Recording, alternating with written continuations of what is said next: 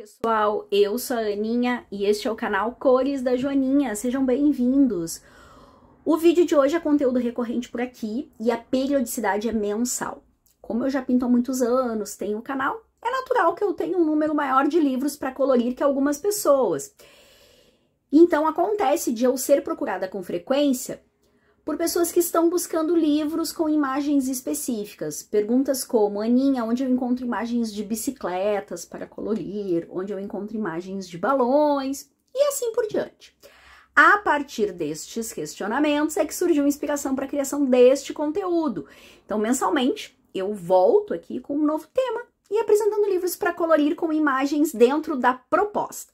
Hoje eu vou apresentar 10 livros, mas obviamente existem muitos outros. E vocês também podem buscar o tema do vídeo de hoje nos livros que vocês têm.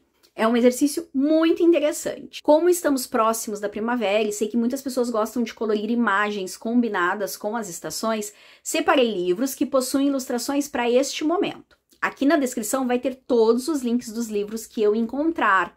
Pode acontecer de eu apresentar algum livro que seja antigo, que seja raro e que eu não encontre mais disponível para vocês comprarem. E por que mostrar um livro que já é raro, que não está mais disponível? Porque muitos que passam por aqui vão ter este livro e eu quero prestigiar os livros que vocês já têm aí na estante. O objetivo do vídeo não é gerar um desejo de consumir algo novo, não é isso que eu quero fazer em vocês. É que vocês conheçam de forma um pouco mais detalhada os livros que vocês já possuem e que, porventura, talvez vocês não tenham percebido que ele, apesar de ser de um outro tema, possui também imagens de primavera, que é a estação do ano que se inicia após o inverno e precede o verão e é tipicamente associada ao reflorescimento das flores. É uma época mais alegre, com muitas cores na natureza. E eu separei cinco livros nacionais e cinco livros importados para apresentar para vocês e começo com aquele que foi o meu primeiro livro de colorir da Turma da Mônica, onde a ilustração de capa já está dentro da temática de primavera. E esta imagem aqui está disponível no livro é a ilustração de abertura.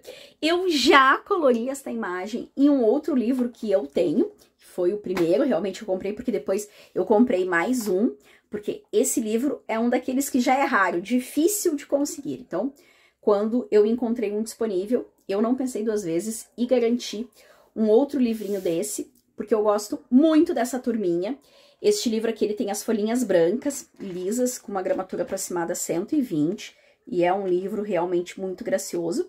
Traz os personagens em diversas situações, então sim, é possível adaptar este livro para temas variados, inclusive para a primavera. E a minha imagem escolhida para esta estação foi esta aqui da capa da Mônica, junto com Sansão, em meio a um jardim muito florido. Próximo livro também é de uma personagem que eu amo muito, a Minnie. E tem aqui uma ilustração tão lindinha, muito primaveril, que é esta aqui, deste close da Minnie, e toda emoldurada por flores. Então, dá para fazer uma ilustração bem colorida, bem alegre, exatamente como é esta estação. Este é um livrinho que traz personagens variados da Turminha da Lhama, são 100 páginas para colorir. E aqui tem uma joaninha em meio a flores, e joaninha e flores combinam muito com primavera. As folhas são brancas, lisas. Aqui na contracapa diz a gramatura, então essa aqui eu tenho certeza de falar para vocês que é de 75 gramas bem como deste livrinho aqui. Este livrinho aqui também são folhinhas de 75 gramas offset. Está escrito aqui no verso do livro. Todos os livros deveriam ter este compromisso, né, de trazer a gramatura das folhas. Aqui, Casinhas Encantadas, da Heloísa Rupismu. Esse livro é fofo, do início ao fim. E eu separei esta casinha que eu acho muito, muito, muito, muito a cara da primavera. Olha só a janela em formato de flor, muitos passarinhos e borboletas, essa moldura toda de arabesco com, com flores, um verdadeiro encanto. E encanto também é a folha deste livro, que tem uma gramatura super alta, 180 gramas, branca lisa.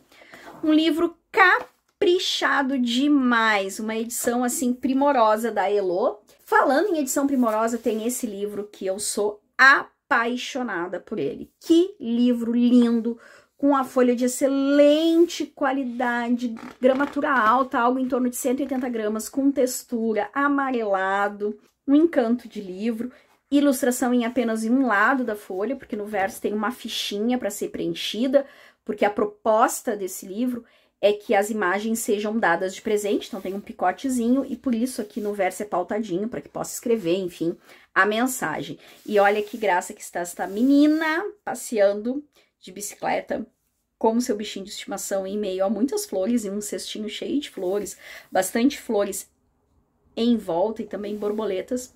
Acho muito primavera essa imagem. Agora eu vou iniciar os cinco livros importados que eu separei. Lulu Maio sabe fazer coisas fofinhas. E olha essa ilustração desse ratinho carregando um buquê de flores que é quatro, cinco, seis vezes maior que ele. Achei lindinha demais essa ilustração e acho que realmente combina com a primavera. Os livros da Lulu têm um tamanho menor, um tamanho colegial, as folhinhas são brancas lisas com uma gramatura aproximada 150. Edições bem caprichadas e o traço da Lulu é muito peculiar, muito distinto, um traço que eu gosto bastante. Ah, esse livro de gnomos podia ficar de fora? Acho que não. Então, ele traz também ilustrações que são a carinha da primavera. E olha esta ilustração aqui dos gnomos, em meio a um jardim e muitas flores. Eles estão cuidando dessas flores. Tem aqui a colheita de flores, colheita de cogumelos. Essa ilustração é lindinha demais, gente. Até o sol está sorrindo. Ai, essa abelha, que fofinha que ela é. Não, uma ilustração lindinha, com certeza, muito primaveril. Johanna também vai participar. E eu achei essa ilustração tão a cara da primavera por conta desse rodapé com girassol, essa fábrica de mel tão simpática, as abelhinhas. Olhei para essa imagem e na hora lembrei da primavera. Emily Alberg tem esse livro com temática de conto de fadas, mas tem imagem para primavera. Essa imagem eu acho muito linda, com esse regador repleto de flores. E eu ainda tinha marcado mais uma... Muitos livros têm mais de uma ilustração com o mesmo tema. Eu acho que esta ilustração aqui também, da garrafa com as flores dentro, é muito a cara da primavera. Então, acho que dá para ser perfeitamente usada para ilustrar, celebrar a chegada dessa estação do ano. E vou finalizar o vídeo com um ilustrador que é polêmico, muitos gostam, outros nem tanto. Esse aqui é um livro de coletânea, então é muito legal, um livro assim que pode ser uma boa porta de entrada uh, para quem quer conhecer o trabalho do Kirby, porque traz imagens de livros diversos, né, uma coletânea que ele fez. E aqui no início, ele prestigiou alguns artistas que coloriram imagens de sua autoria. E tem uma imagem aqui, que apesar de ser de um tema que para muitos pode ser sombrio, que é aqui uma caveira. É uma caveira muito colorida, com muitas flores, então poderia ser uma caveira na primavera. Na minha opinião, poderia. Tem até uma abelhinha sobrevoando aqui. E essa imagem está disponível para ser colorida, tanto nesse livro aqui como no livro Imagem Morfia, a ilustração originalmente é daquele livro e ele colocou aqui na coletânea também. Esse é um livro com folhas amareladas. Olha a gramatura, excelente. Algo entre 150 e 180 gramas. Esqueci de falar, né, sobre a gramatura deste livro que vocês têm curiosidade. Então, esse é um livrinho que tem folhas amareladas com uma gramatura alta também. Algo em torno de 150 gramas. Penso eu que esta caveira pode sim ser muito colorida, muito alegre e reverter essa imagem que a gente tem, né, de ser algo mais sombrio, mais obscuro. Então, uma caveira aí com uma carinha de primavera, acho muito possível. Então, estes são os 10 livros que eu selecionei, espero que vocês tenham gostado.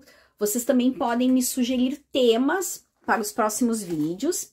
Para quem ficou até aqui, obrigada pela companhia. Deixa nos comentários a hashtag primavera para colorir, para eu saber que você assistiu até o final e marcar seu comentário com um coraçãozinho. Aqui do lado eu vou deixar indicado dois conteúdos que podem te interessar. Seguimos conversando e nos vemos no próximo vídeo.